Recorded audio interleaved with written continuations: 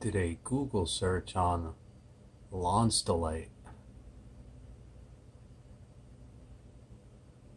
It's a hexagonal diamond. Alright, it says where is it found? It says Lonsdaleite.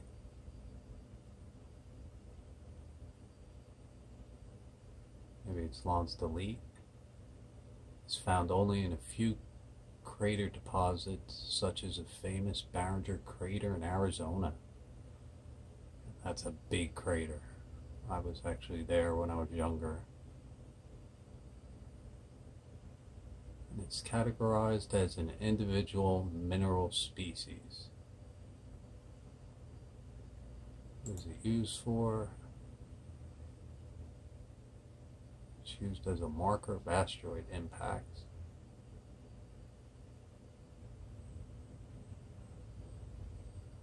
And is it the hardest on the Earth? It says it's formed when meteorites containing graphite hit Earth.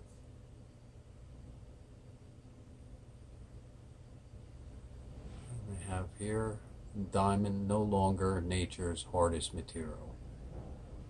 Thought that was interesting.